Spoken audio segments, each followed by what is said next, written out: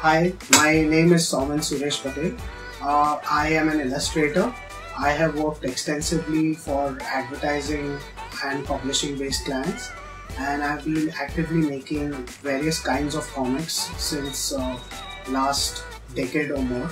So along with Indiefolio and Wacom, uh, we are going to host one masterclass where I'll be talking about how we can create dynamic uh, storyboards and tell stories in a more dynamic way.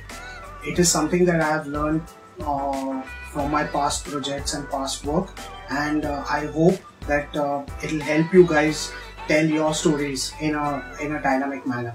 So I hope to see you guys on 30th June at Khar Social. Uh, the registration for the masterclass is free, and you can find all the details in the link below.